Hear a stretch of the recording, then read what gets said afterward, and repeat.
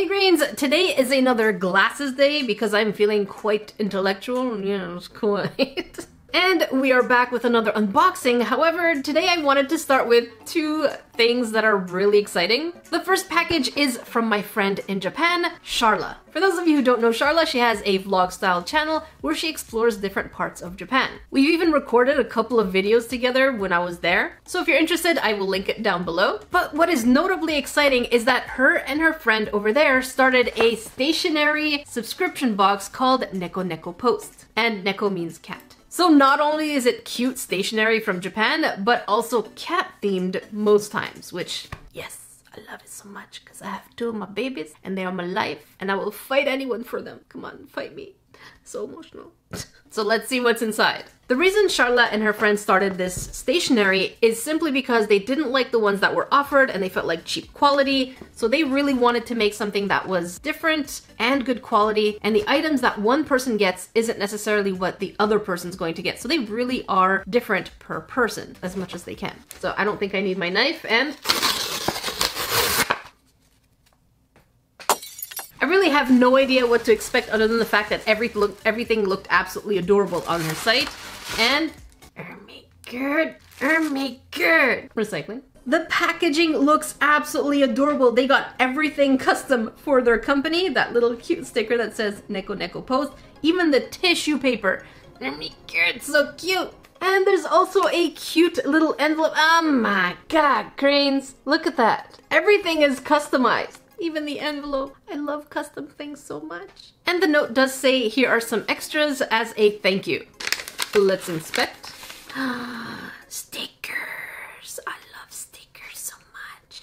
Oh my god, what is that? That is cute. That definitely appeals to my love of monsters. So this here is a monster sticker sheet. I love the little kappa and the demon over here. Oh, I think, I can't remember the name of this creature. I can't remember. It was a creature in one of the MMOs I used to play on Ragnarok. Oh my god, I can't remember. And of course, we have the theme of cats still kind of hanging out with those monsters. More cat stickers. For those of you who don't know, Sharla is as obs obsessed, obsessed, obsessed as I am when it comes to stickers. So she knows that this appeals to me and they are good quality enough for those of you who want to add them to resin crafts. These ones, however, would need to be sealed because they are paper. We have some, oh, I dropped one. Some Halloween themed stickers. These are super cute, but of course I'm always late to open things. and for those of you who like to collect stamps, here are some authentic Japanese ones, which are really cool. I like that they added this because it adds an extra layer of uniqueness to this package. All right, now it's time to open the inside. And I don't know what I'm expecting, but I feel like there might be a journal or a book of some kind or even a notebook. So let's find out together. I don't want to ruin this paper. The thrifty part of me is like, hmm, I need to save this so that I can reuse it in another gift. But Jackie, this says Neko Post. How are you going to put it in a gift. People don't always look at the actual writing on the paper. It just looks cute. You're right. All right, so here we go. Oh my god. I'm gonna be as delicate as I can be, which is not very delicate, to be honest. By the way, if you grains are interested in checking it out, I will link it down below. I think at this time, they might be already sold out. But if you are interested, they do have a mailing list that they will let you when they do have open spot. Did my sentence make sense? I'm not sure. It's, it's too early for my brain. All right, let's switch camera angles. I think this angle makes the most sense. So off we go. oh my god. Yes. So let me just turn it around for you grains to see better and let's get a closer look. So already upon first glance, I can tell that these stickers are not from the Daiso in Japan, which is the dollar store. Unfortunately, a lot of the stationery boxes that pretty much come to me are from the dollar store, and I'm not happy about it, so I end up not promoting it more often than not. The first thing we get is a Pilot Juice pen in grape color. I really love this color. And it seems to have a nib protector, so let's pull that out and let's test it. And let's write grape. Oh, oh, after the first one, this really slides. That's really nice. So I feel like if you wanted to take notes in this, of course this is still pretty new, so the juiciness is still coming out, but here you can see, there you go. You see how wet that is? I'm sorry for using that word, but yeah, it's pretty juicy. Next we have washi tape, and if I'm not mistaken, these are family crests in Japan. And by doing a quick search, it does seem so. There are quite a few similar ones. And this one here is made in Japan. Let's check it out. Oh, that is soft. All right, so in the tape itself, it does explain that it is a family crest used in ancient times and still used today. And here are some of what they look like. I really like the burb one, of course. I am so biased. and in case you are wondering, it does have this nice stickiness to it. Look at that. So it does stick pretty nicely. Of course, it's going to come off if you shake it more, but it is holding much better than the ones that I previously had. But then again, some of the ones I had are from the dollar store, and yet this one is nice and flexible. And now for the stickers. These are so cute. Oh my god. I love the art style in each one. And I love the different poses that we have. I mean, we have this one looking, I think, at food. We have this one kind of ready to pounce. This one kind of trying to stay warm. And yes, some of the gold sheen on there is a little glowy. I really love the poses. Those are just adorable. There's not much for me. A mouse! Drinking water. I mean, these would make some really adorable charms if you're into resin crafting. Next we have, oh my god, is that a postcard? Oh, that is way too beautiful to use. Let's just take it out. Oh, that is adorable. This illustration is just, oh wow. And let's check the back. Yes, so it is a postcard. So I think what I'm going to do is I don't want to hoard postcards, so I'm going to be using some of these to send letters to you grains for those of you who are patrons and members. So I'm going to try and figure out a way that I can contact individual members as well. This is so pretty. Next, I think this is also a postcard. Yes. So this here is also a postcard. Let's see the description. It's written in Japanese. I know Sharla is a huge fan of flowers, so I am not surprised that flowers were included as part of the series. This is, it's like a nice painting. Next, oh no! Oh, is that a sweet potato card? Yes! Oh my god, yes! Let's open that.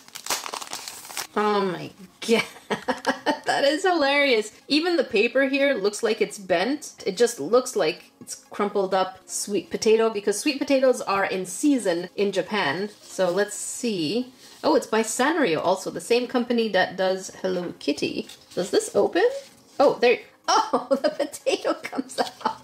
Oh wait, the potato is a card. Okay, this is hilarious. I am loving this. I think I'm going to use this as a gift for Pat because he's Polish and he loves his potatoes. so we can put the potato in the front and I think I picked it up from the back. Yeah, so you can put it in the back. That's actually where it has a little holder right here. So it sits nicely. That is cute. I love this. Probably one of my favorite cards. Great for birthdays, I guess. Any occasion, technically. Could be a thank you card. Could be a card that you're giving with a gift or whatever. I, I really like this.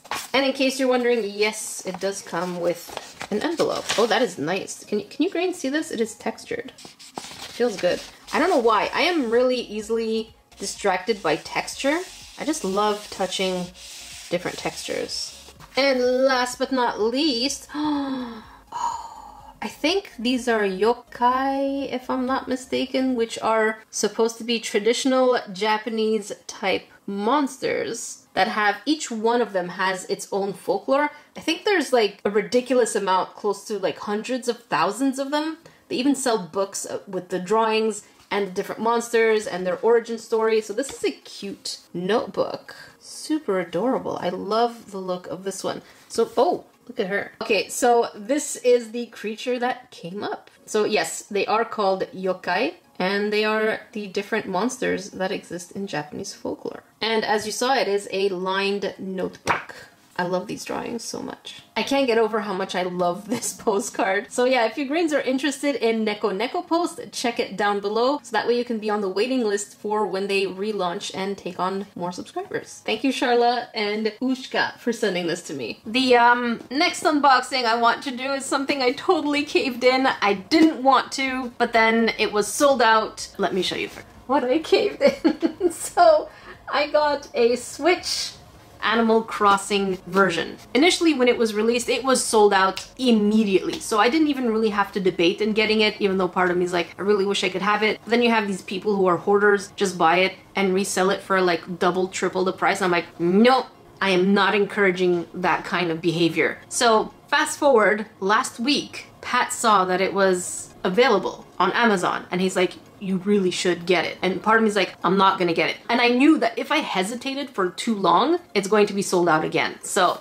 here is my new Switch Animal Crossing version. At this time, I do have a Switch. It's the normal version. Let me show you. This one over here. And don't get me wrong, I absolutely love it. However, I know that right now, even EB Games is buying it to close to, I would say, 80% of its current value. So they're paying quite a bit for it because it seems like it's in high demand. So it's basically like I bought the new one after the exchange for like $30. That's my math. So if I exchange my old one and I got this one, I'm basically only paying $30, 30? No, 50. $50 from my pocket to have a limited edition exclusive Animal Crossing version. So in my head, I'm like, I can justify it since I am doing the exchange anyways. I'm so thrifty. So I figured since I'm super excited about this, I want to show you. However, let's do a couple of small clips of the areas I have in my own village. It is nowhere near done. So I'm going to show you the first one. I have my little, I call Tokyo. It looks really much nicer at night because there's all these neons and there's different things on the street. It's a little dirty, but it's think of it as like the grungy part of downtown Tokyo. And then for my villagers, I have a residential area, which seems kind of bougie. I don't know why I gave them a bougie area, but it just feels, it's kind of cute. And then one of my other favorite parts is the Osaka inspired street. Now they do have some recreational activities going on there, but it's not reflective of Osaka. I kind of just added it there because it reminds me of the Yakuza. So I was like, why not? And this is basically where my residence is in Animal Crossing. I know everybody keeps putting themselves on the highest hill and the most prettiest part of the town, but I, I like the grungy part. If you would like a full island tour, I might consider it at some point once my gaming channel is out, and that's probably why I was really encouraged to get this one. So I do have a gaming channel that is nowhere near done. Like, it's, I only have a trailer up there for the last few months, but I haven't posted anything. It is called Raging Raccoon Gamer. I haven't fully decided what direction I'm going with it other than the fact that I really want to play games, kind of mess up in them. I don't want just be cute and fun. I really want to continue with the fact that I'm just, you you know, chaotic. So let's let's open this up. All right, now I don't remember how to open one of these boxes because it's been a while since I've had mine, but I'm going to be as gentle as possible. Ooh. I think what one of the things that really got me were these beautifully pastel color controllers. So here they are. I'm going to keep the main console here, and I'm mostly interested in the, this one, yes because all the rest is basically the same thing. I just want to look at these bits over here. Oh my god. That is adorable. So here's the front, as opposed to it just being a plain black console. It's just so pastel and cute, and I think that's what got me. I think that's about it. I don't want to unbox all the cables and all that because it's exactly the same thing as any Switch. I just really wanted to go through the controllers and the, the, the holder thing. One of the things I really wish they could have added was a case. That would have been really cute to have just an Animal Crossing themed case to be able to store our Switch. And now we're going to open a pot package. I'm going to open a package from Graphic Mistake from New Hampshire, from the US. Absolutely love receiving these packages from Ugrains, but remember, they do take me at least five, six, six months to get to. So if you are really patient and you know you won't be annoyed of my face at some point, then I love receiving things from you. However, I really do encourage you not to send anything during the holiday seasons because I'm pretty sure it's going to be really hectic this year, especially since families can't necessarily visit each other. So I'm feeling like it's going to be even more hectic. So don't risk having your items lost in the mail.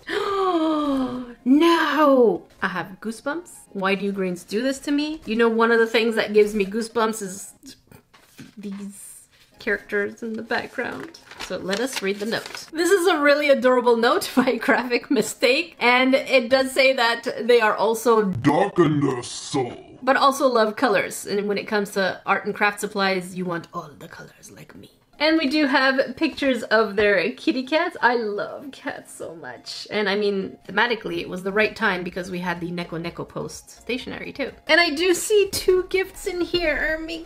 We have a My Hero Academia bento box. This is quite the bento box. Usually the ones that I get are kind of like this big. This one is actually quite sizable, so I like that. And I'm guessing the utensils are on the inside. Yes, so we have the chopsticks and a spoon, the first compartment, and the second compartment. And then you put all of this together with the this here. I don't know if this makes it so that it doesn't leak, but I'm not sure. I actually never tried to see if it was leak proof because I have a couple of those in, in different ones, but smaller. Gonna have to eventually test it. And we do have some of the main characters. Can we just scratch this guy off? Can we take him off the show? He is so annoying. And then, oh no, the box opened. Let's fix it. We have a pop figure of one of my favorite characters, which is Stain. He is really cool because even though he is considered a bad guy, he's technically not a bad guy. Well, he is. What he does is not okay. But in idea, his principle is interesting. It's kind of like playing devil's advocate. So he is definitely one of my favorite characters, even though he is a villain kind of I could write a whole essay about him. so thank you so much, Graphic Mistake, for these amazing My Hero Academia. I'm probably going to put Stain somewhere in my background, kind of like right next to Salty Plushie because there's space.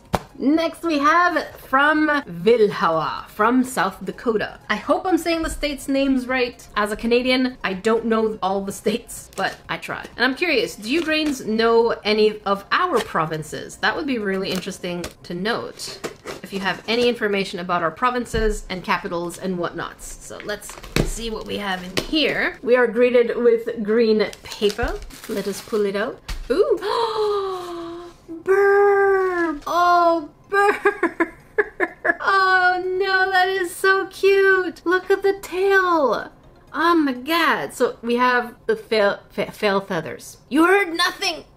we have the tail feathers. We have, oh my god. He is cute. I don't know why I keep doing this, but that is adorable. That is really awesome. Let's find the note. So this note is from Sierra, and Sierra says that my videos makes her laugh. So thank you so much. I really appreciate it. I really hope that my silliness can at least make some of you grains smile. That is the entire goal of making my videos is to make sure that you grains are smiling or at least get a little chuckle. And, oh no.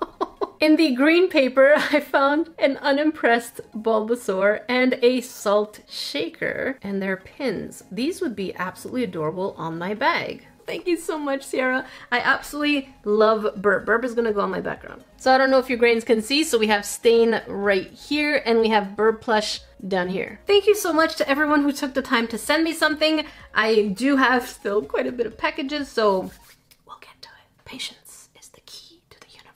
It's probably not, but at least we will get through them. If you want to watch more videos, make sure you check up here. Until then, I will see you grains in the next video.